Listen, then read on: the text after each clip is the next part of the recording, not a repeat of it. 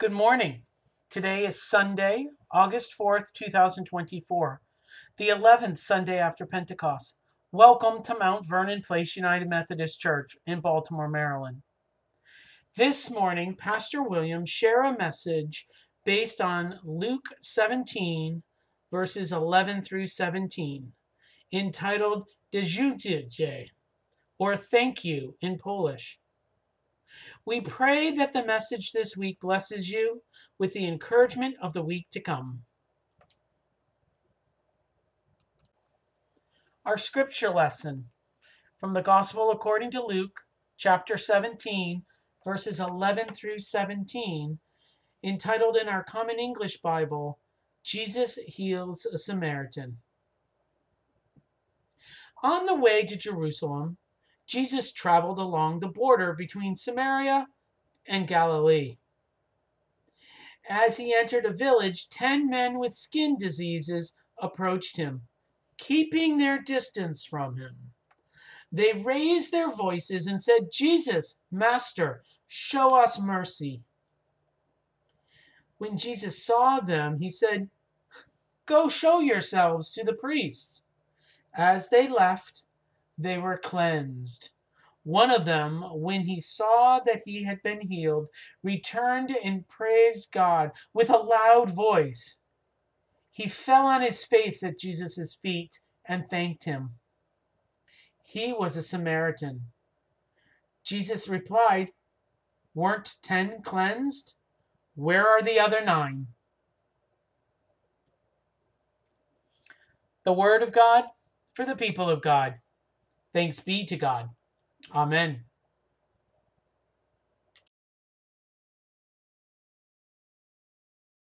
Morning. Good morning. It's so good to see everybody uh, today, and uh, thank you to all of those who are visiting. Our sermon title this morning is Dziękuję.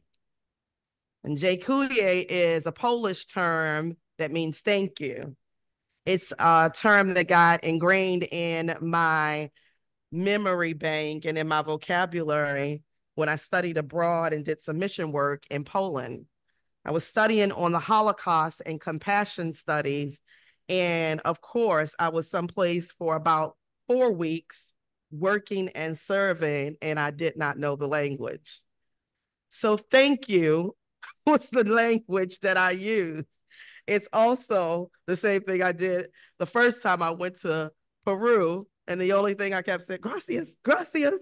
So in Poland, it was dziękuję, dziękuję everywhere I went.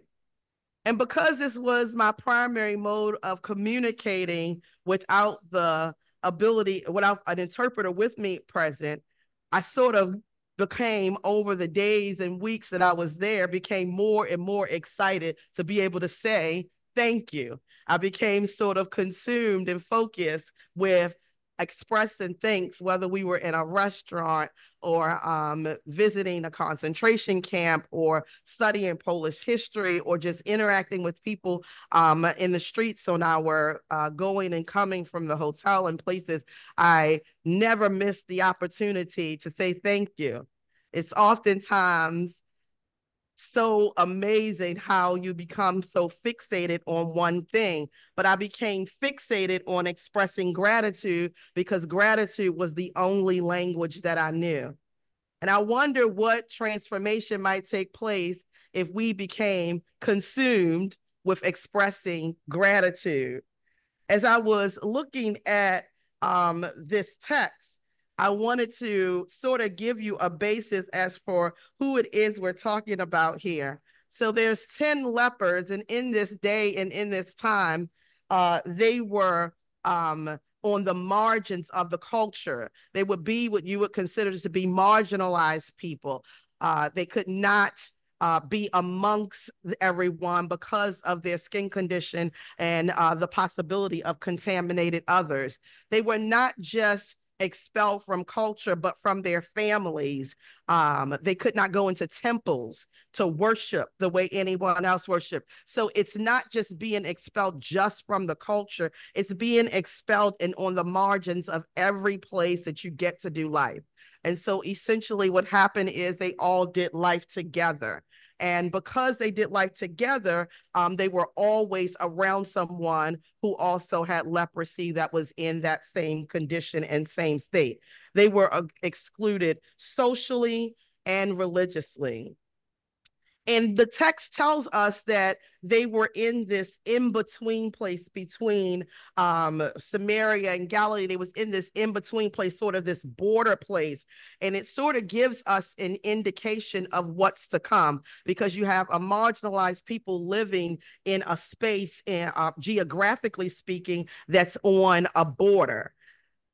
I begin to think about these people and this group of individuals who had the tenacity to recognize that their condition could be healed and could be attended to by one person. I think it's so refreshing to know that when you have a problem or situation or condition that exists in your life, that you can find the answer in Jesus. I think it's so refreshing to know that there is an answer in one place. It's oftentimes what brings a lot of anxiety and difficulty is not knowing where the answer lies, not having a plan, not knowing where you can get a solution. But these lepers saw Jesus, and rather than approach him, because that was not allowed, they yelled out and called out to him from afar off. They knew where the answer was. They anticipated Jesus' arrival and they shouted out. They were not afraid to expose themselves. They were not afraid to reach out and tell Jesus exactly what it is that they needed.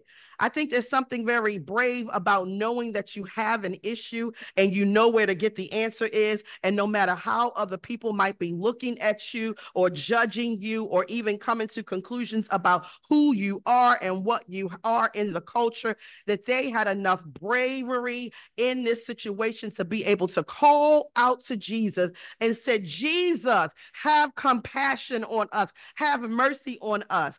I wonder what would happen with us, with our very various conditions and our various issues and ways of life when we need help, if we would just recognize that Jesus is, in fact, the answer. He is, in fact, the one that holds our future in his hand. But yet, if we would just have the bravery and the discipline to call out to him, to call out to his name and ask him to have mercy on us, we are no different from the lepers. There is something in our lives something that we're struggling with that makes us feel excluded from one area of the culture or another. Maybe it's financial exclusion, maybe it's cultural exclusion. It's something and somewhere in our own space in life that makes us feel like I need answers. And so these leper, this leper calls out, these lepers call out to Jesus, and Jesus miraculously gives them a specific directive.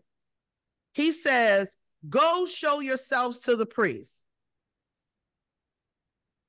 He doesn't do anything. He doesn't go up to him. He doesn't pray some long, elaborate prayer. He doesn't extend his hand and get real spiritual. He doesn't do any of that. He simply gives them an instruction. And the instruction he gives them is go show yourselves to the priest. In this time, it was the priest who determine and declared you unclean. If you had a little mark on you that showed that you were uh, contaminated or exposed to leprosy, the priest would take a look at you and recognize that, and he would decide whether or not you, in fact, had leprosy so that you would be expelled from the culture. And only the priest could allow you back into the culture to say that you were healed or you were whole in some kind of way. And so he told them, Go show yourselves to the priest. He didn't say anything other than give them instruction. Oftentimes, when we call out to God, we have to have the courage to do exactly what He tells us to do. I want you to take notice in this text that none of the lepers stopped and asked for clarification. They didn't have any questions. They didn't have any follow up. They didn't say why. They didn't say when. They didn't say, well, what time we need to be there. They didn't have a laundry list of things that they wanted to ask and get clarity about. They simply went on their way. They got the instruction and went on their way. I began to make me think about when was the last time that God gave me an instruction and I did not hesitate in the slightest. I did not I did not hem and haw. I didn't decide and struggle about whether or not I was going to be obedient to the thing that he told me to do. When was the last time God gave you a directive and you just did it? No questions asked. It's something so refreshing about this because what it does to is it it, it, it sort of reinforces to me what their trust level was. When you trust something, you don't you don't question it. When you trust something, you don't hesitate when I trust, usually when I have difficulty trusting in something or somebody, I ask a lot of questions. I get a lot of clarity. I sort of make sure I heard. Did I hear what I said? I mean, so let me understand this. So you want me to do X and then you're going to do Y. I sort of make sure that the expectations are clear and you know what you're doing and I know what I'm doing so that we can come and do this thing together. But none of this takes place in this text. They ask for help they're, ex- they're on the margins of the culture. They ask for help, and Jesus responds. He just responds and says, Go show yourselves to the priest. Then something else really, really miraculous happens here. The scripture tells us that as they were going, they were healed. I am fascinated by that because it tells me that there are rewards with obedience and trusting in God. So when we obey God and when we trust God and we do what He has called us to do without hesitation and without flinching, that our blessing, our manifestation is in that obedience. They hadn't even gotten to the priest yet. They hadn't even gotten to their destination. And the scripture tells us as they were going, they were blessed. As they were going, they were healed. And while they're on their way, it's 10 lepers. One is like, hold on, wait a minute, something, something's going on here. Wait a minute, I'm a, wait a minute, hold on, I'm healed. He didn't even go all the way to the priest. The other nine kept going. Oftentimes, when this text is talked about, Frank, they oftentimes try to make it feel or seem as if the other nine are ungrateful. But the other nine are doing exactly what Jesus told them to do. He told them, go show yourselves to the priest. He's they're following instructions. I don't think that that's ungrateful. He says, go show yourselves to the priest, and that's exactly what they do. But the one is so compelled that he recognizes his transformation. He recognizes the immediate fruit of being obedient. He's like, wait a minute, I don't feel what I feel, what I felt before, I don't look the same way I look. Something is is happening. And in this revelation, what compelled him to go back is his recognizing who Jesus was. He said, wait a minute, I knew he had a, a, a miracle ministry. I knew he had a healing ministry, but hold on a minute. Is, is, is this guy? And it says that he goes back, he's compelled to return to Jesus. He's like, I got to give some further inquiry. I'm being, I have already been transformed. I haven't made it back to the priest. I have got to go back and see. And it says that when he came back to say thank you, he did something that many of us forget to do. He worshiped he worshiped. It says that he not only thanked God, but it says that he bowed down. If you was to peel back the layers on that text, begins to tell us how he laid himself prostrated because he recognized the divinity that is in Jesus. That this isn't just a man who is in touch with the Father, something different is happened here. I've got an instant manifestation of, uh, of a blessing of transformation. My life isn't the same. That's typically what happened when you have an encounter with Jesus. Your life is not the same. There's a transformation that takes place. And, and like the leper, you will see the transformation in your obedience.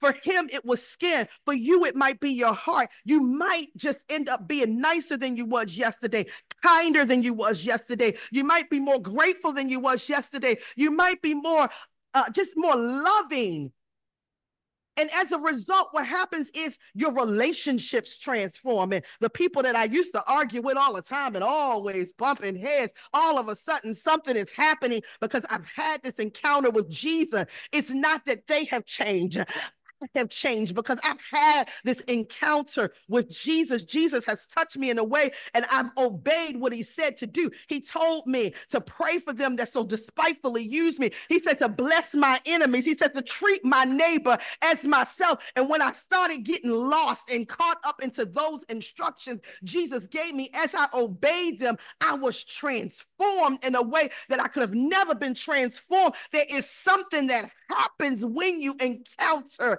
Jesus. Something that happens when you encounter Jesus. Gratitude is good for your health. It's not just good for your spirit, but it's good for your physical health. Gratitude is a way of showing appreciation, gratitude in relationships build good will. It acknowledges the sacrifices of someone on the other side. It lays the groundwork for positive relationships. It fosters security. It inspires worship. So many things that that it does for you when you are grateful. Grateful is gratitude is transforming. Gratitude physio- phys- physiologically increases oxytocin, which is a bonding hormone. It fosters calm. Do you not know that counting your blessings research has shown boosts your health. It lessens your depression and your stress. It lowers blood pressure. It increases energy and optimism. Gratitude can transform you body, mind, and spirit. It breaks and interrupts cortisol from producing, which is the stress hormone that can deplete your immune system and raise your blood sugar. We could transform our health just by being more grateful. Transform our physical health, transform our spiritual health. This leper came back, and Jesus makes note that he was a Samaritan. I believe what Jesus is trying to communicate to us is the kingdom that he is going to be establishing where there is no Jew, no Gentile, no, no slave or free, but that by his blood we are all made whole. We all can find our completeness in him. It's here where we see that the gospel message is, in fact, an inclusive message that doesn't leave anybody out. Jesus, in his ministry, goes out of his way to visit the margins of our culture just so that he can be a blessing to someone who he doesn't have to be a blessing to, but who everybody else has forgotten. The lepers were expelled from the culture, they were isolated in a way that no one was coming for them. But here comes Jesus passing by. This is yet another place in biblical text where we see how Jesus goes out of his way to be a blessing to others. And as a result, this healed man, this whole man, returns with a spirit of gratitude. Gratitude has transformed his physical life, his mental life, his spiritual life. And Jesus begins to tell him, Wasn't it nine of you? And Jesus isn't trying to throw shade toward the other nine, but he wants to us to know that it was he who was doubly marginalized. He was not just on the margins of the culture because he had leprosy, he was also on the margins of culture because he was a Samaritan. He was excluded not just because he had a disease, but he was also excluded for who he was. He who had so much to gain with an encounter with Jesus. And Jesus says to him, Your faith has made you well. And I begin to say, well, wait a minute. He was already healed, Frank. He was already made well in his obedience and going. But what that is trying to say, tell us when Jesus said this, is that no, he was physically healed, but his faith in me, when he came back and recognized who I was, put him in intimate relationship with me. So he was not just healed, he was saved. I wonder how gratitude might transform us this week. I wonder how gratitude might transform our minds from pessimism to optimism. I wonder how it might transform our ability to interact with others. I wonder what gratitude might do. And it reminded me of my time in Poland when I was consumed with saying thank you. When I was consumed with saying thank you because it was the only thing I know I knew at that time, but I wonder what life would be like for my physical health, for my mental health, for my spiritual health. If I would just practice gratitude it is so easy to complain. You ever notice how contagious complaining is? Somebody could be complaining and ain't even in a bad mood, and all of a sudden, your dog getting on your nerves, your cat won't use the litter box, nothing's going right. Remember that complaining is contagious. It's like a cancer. It eats away at our faith, our self esteem, our mental health. It has nothing good to give us. But gratitude, gratitude is doing something for us that complaining never could. It's changing the chemicals in our body. Oxytocin is going off the charts. And what is happening is it is transforming our lives. It's transforming our relationship. And it is doing something that we all need. It's inspiring us to worship, it's inspiring us to recognize who God is and who He is in me, who He is in you somebody didn't wake up this morning. So the fact that you and I are looking at each other is already a reason to give him thanks, already a reason to worship. The fact that we have clean drinking water is a luxury that most of the world does not have. We have so much to be thankful for so much to be grateful for. And though things aren't the way we would like them to be, they aren't as good as they wanted to be. I didn't drive a Mercedes here this morning and I didn't leave a mansion when I came here. Oh, but he's still worthy. I still have a reason to be thankful. You still have a reason to be thankful. And so maybe we'll correct the narrative of this biblical story in our minds that this one leper got doubly blessed. His physical body was blessed, but it was his gratitude, his ability to say thank you that transformed his eternal life. And the reason why he became a citizen of heaven is because gratitude inspired his salvation and his belief in Jesus. He recognized who Jesus was. So, my encouragement to you today is to say thank you. Is to say thank you and to live your life in thanks to the one who gave it to you. So today and all day, it's Dziękuję. Thank you, Lord. It is mercy. It is gracias. It's gracie. It's thank you, God, for all the ways that you show up for me,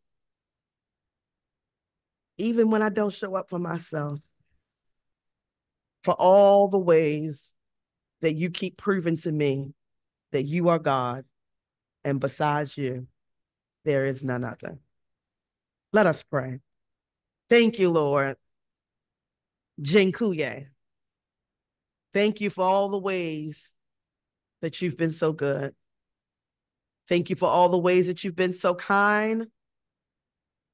Thank you for brand new mercies on this morning. Thank you for the sun shining.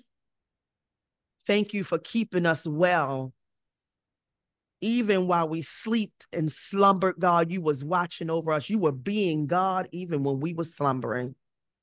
Thank you, God, for not just all the things that you've done and all the things that you continue to do, but thank you for all the ways you're going to show up on tomorrow because you are faithful.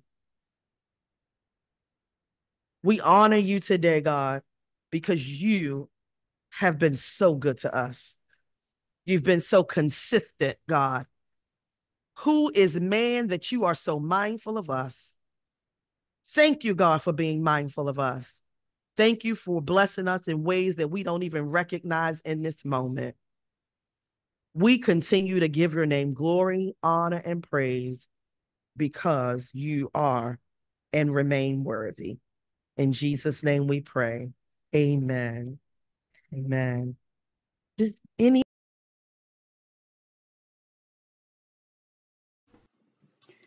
Thank you for joining us today. If the people of Mount Vernon Place United Methodist Church may be of service to you, please email us at mvpumcbaltimore at gmail.com. But for now, may the Lord bless you and keep you until we can meet again. God be with you.